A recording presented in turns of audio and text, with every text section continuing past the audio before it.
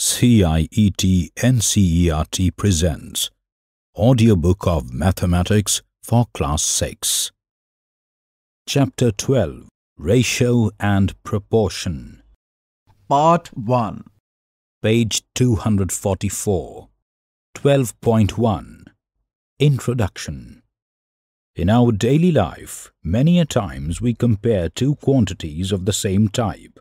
For example, Avni and Shari collected flowers for scrap notebook. Avni collected 30 flowers and Shari collected 45 flowers. So, we may say that Shari collected 45 minus 30 is equal to 15 flowers more than Avni. Also, if height of Rahim is 150 centimeters and that of Avni is 140 centimeters, then we may say that the height of Rahim is 150 centimeters minus 140 centimeters is equal to 10 centimeters more than Avni. This is one way of comparison by taking difference. If we wish to compare the lengths of an ant and a grasshopper, taking the difference does not express the comparison. The grasshopper's length, typically 4 centimeters to 5 centimeters, is too long as compared to the ant's length, which is a few millimeters. Comparison will be better if we try to find that how many ants can be placed one behind the other to match the length of grasshopper. So, we can say that 20 to 30 ants have the same length as a grasshopper. Consider another example. Cost of a car is 2,50,000 rupees and that of a motorbike is 50,000 rupees. If we calculate the difference between the costs, it is 2 lakh rupees and if we compare by division, that is 2,50,000 divided by 50,000 is equal to 5 divided by 1. Page 245. We can say that the cost of the car is 5 times the cost of the motorbike. Thus, in certain situations, comparison by division makes better sense than comparison by taking the difference. The comparison by division is the ratio. In the next section, we shall learn more about ratios. 12.2 Ratio Consider the following. Isha's weight is 25 kilograms and her father's weight is 75 kilograms. How many times father's weight is of Isha's weight? It is three times. Cost of a pen is 10 rupees and cost of a pencil is 2 rupees. How many times the cost of a pen that of a pencil? Obviously, it is 5 times. In the above examples, we compared the two quantities in terms of how many times. This comparison is known as the ratio. We denote ratio using symbol colon. Consider the earlier examples again. We can say the ratio of father's weight to Isha's weight is equal to 75 divided by 25, which is equal to 3 divided by 1, which is equal to 3 is to 1. The ratio of the cost of a pen to the cost of a pencil is equal to 10 divided by 2, which is equal to 5 divided by 1, which is equal to 5 is to 1. Let us look at this problem. In a class, there are 20 boys and 40 girls. What is the ratio of A. Number of girls to the total number of students B. Number of boys to the total number of students First, we need to find the total number of students, which is number of girls plus number of boys, which is equal to 20 plus 40, which is equal to 60. Then, the ratio of number of girls to the total number of students is 40 divided by 60, which is equal to 2 divided by 3, which is equal to 2 is to 3. Find the answer of part B in the similar manner. Try these. 1. In a class, there are 20 boys and 40 girls. What is the ratio of the number of boys to the number of girls? 2. Ravi walks 6 kilometers in an hour. while Roshan walks 4 kilometers in an hour. What is the ratio of the distance covered by Ravi to the distance covered by Roshan? Now consider the following example. Length of a house lizard is 20 centimeters and the length of a crocodile is 4 meters. Next to the question is a picture in a box of a lizard and the crocodile. The crocodile is telling the lizard, I am bigger, you are smaller. I am five times bigger than you, says the lizard. As we can see, this is really absurd. Page 246. A lizard's length cannot be five times of the length of a crocodile. So, what is wrong? Observe that the length of the lizard is in centimeters and length of the crocodile is in meters. So, we have to convert their lengths into the same unit. Length of the crocodile is equal to 4 meters, which is equal to 4 multiplied by 100, which is equal to 400 centimeters. Therefore, ratio of the length of the crocodile to the length of the lizard is equal to 400 divided by 20, which is equal to 20 divided by 1, which is equal to 20 is to 1. Two quantities can be compared only if they are in the same unit. Now, what is the ratio of the length of the lizard to the length of the crocodile? It is 20 divided by 400, which is equal to 1 divided by 20, which is equal to 1 is to 20. Observe that the two ratios 1 is to 20 and 20 is to 1 are different from each other the ratio 1 is to 20 is the ratio of the length of the lizard to the length of the crocodile, whereas 20 is to 1 is the ratio of the length of the crocodile to the length of the lizard. Try these. 1. Saurabh takes 15 minutes to reach school from his house and Sachin takes 1 hour to reach school from his house. Find the ratio of the time taken by Saurabh to the time taken by Sachin. 2. Cost of a toffee is 50 paise and cost of a chocolate is 10 rupees. Find the ratio of the cost of a toffee to the cost of a chocolate. 3. In a school there were 73 holidays in one year. What is the ratio of the number of holidays to the number of days in one year? Now consider another example. Length of a pencil is 18 centimeters and its diameter is 8 millimeters. What is the ratio of the diameter of the pencil to that of its length? Since the length and the diameter of the pencil are given in different units, we first need to convert them into same unit. Thus, length of the pencil is equal to 18 centimeters, which is equal to 18 into 10 millimeters, which is equal to 180 millimeters. The ratio of the diameter of the pencil to that of the length of the pencil is equal to 8 divided by 180, which is equal to 2 divided by 45, which is equal to 2 is to 45. Think of some more situations where you compare two quantities of same type in different units. We use the concept of ratio in many situations of our daily life without realizing that we do so. Compare the drawings A and B. B looks more natural than A. Why? Next to this question we have two drawings labelled A and B. Both the drawings are of two different boys. Page 247 The legs in the picture A are too long in comparison to the other body parts. This is because we normally expect a certain ratio of the length of legs to the length of whole body. Compare the two pictures of a pencil. Next to the question we have two pictures of a pencil. Is the first one looking like a full pencil? No. Why not? The reason is that the thickness and the length of the pencil are not in the correct ratio. Same ratio in different situations. Consider the following. Length of a room is 30 meters and its breadth is 20 meters.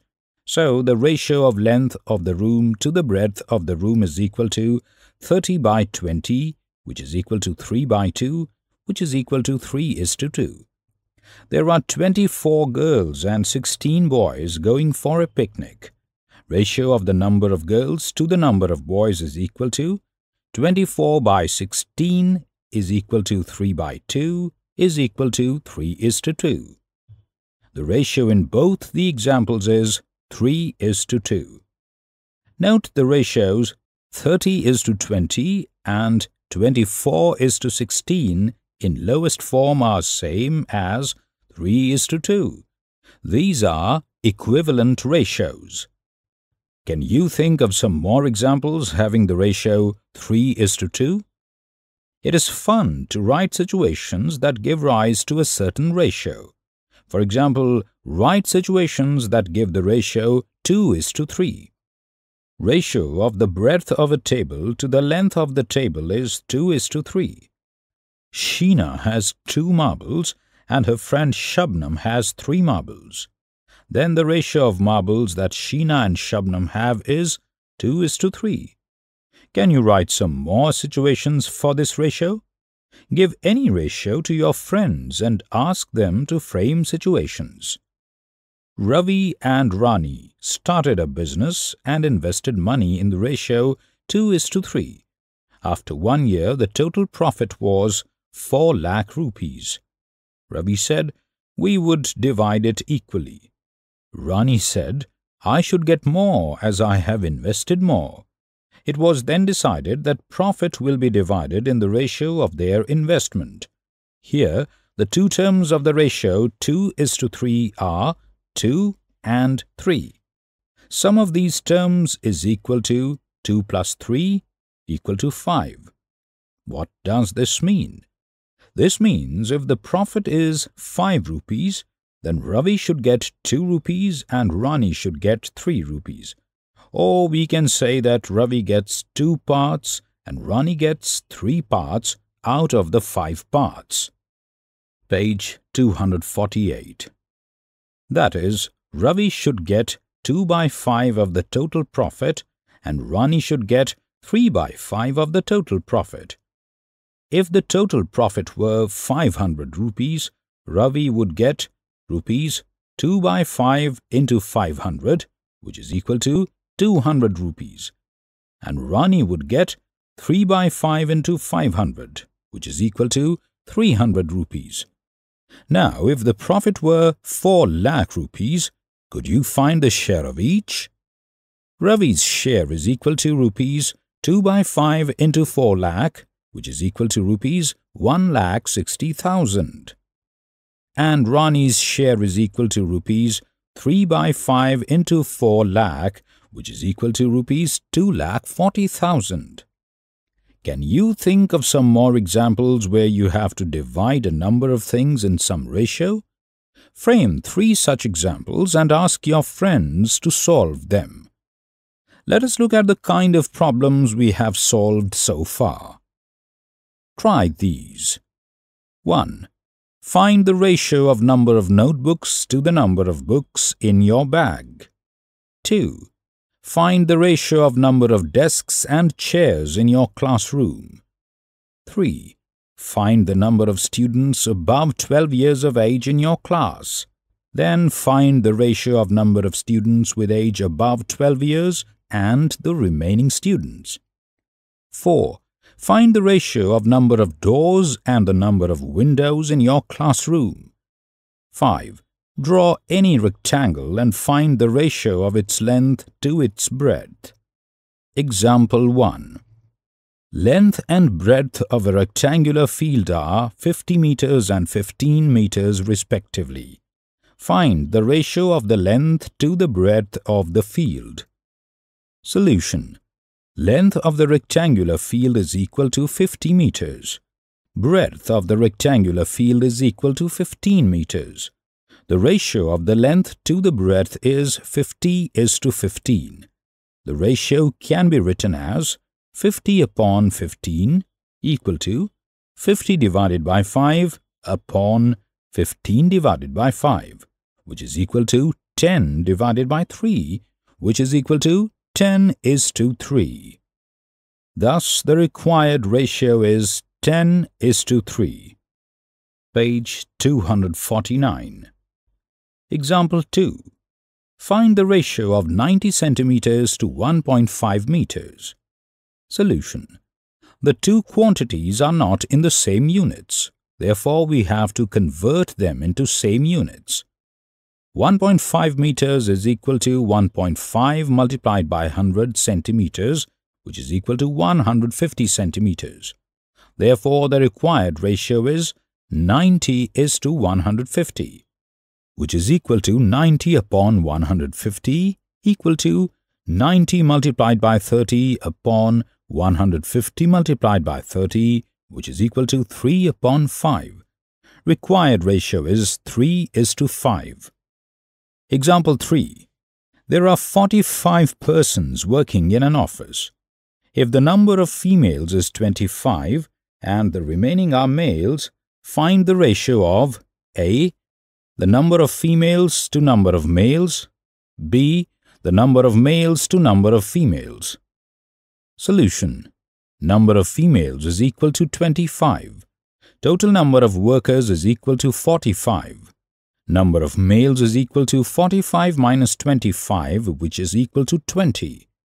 Therefore, the ratio of number of females to the number of males is equal to 25 is to 20 equal to 5 is to 4. And the ratio of number of males to the number of females is equal to 20 is to 25, which is equal to 4 is to 5. Notice that there is a difference between the two ratios 5 is to 4 and 4 is to 5. Example 4. Give two equivalent ratios of 6 is to 4. Solution. Ratio 6 is to 4 is equal to 6 upon 4, which is equal to 6 multiplied by 2 upon 4 multiplied by 2 which is equal to 12 upon 8. Therefore, 12 is to 8 is an equivalent ratio of 6 is to 4. Similarly, the ratio 6 is to 4 is equal to 6 upon 4 equal to 6 multiplied by 2 divided by 4 multiplied by 2, which is equal to 3 upon 2. So 3 is to 2 is another equivalent ratio of 6 is to 4. Therefore, we can get equivalent ratios by multiplying or dividing the numerator and denominator by the same number. Write two more equivalent ratios of 6 is to 4. Example 5. Fill in the missing numbers. 14 upon 21 is equal to dash upon 3, which is equal to 6 upon dash. Solution. In order to get the first missing number, we consider the fact that 21 is equal to 3 multiplied by 7. That is, when we divide 21 by 7, we get 3. This indicates that to get the missing number of second ratio, 14 must also be divided by 7. When we divide, we have 14 divided by 7 is equal to 2. Page 250 Hence, the second ratio is 2 by 3. Similarly, to get third ratio, we multiply both terms of second ratio by 3. Why? Hence, the third ratio is 6 upon 9.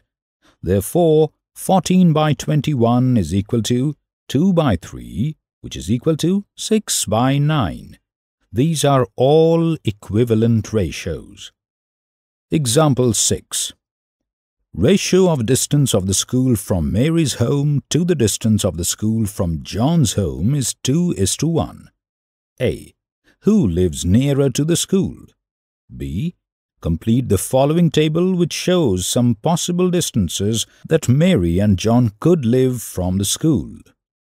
Distance from Mary's home to school in kilometers 10 dash 4 dash dash Distance from John's home to school in kilometers 5, 4, dash, 3, 1. Fill in the blanks. C. If the ratio of distance of Mary's home to the distance of Kalam's home from school is 1 is to 2, then who lives nearer to the school? Solution A. John lives nearer to the school as the ratio is 2 is to 1. B. Distance from Mary's home to school in kilometers 10, 8, 4, 6, 2.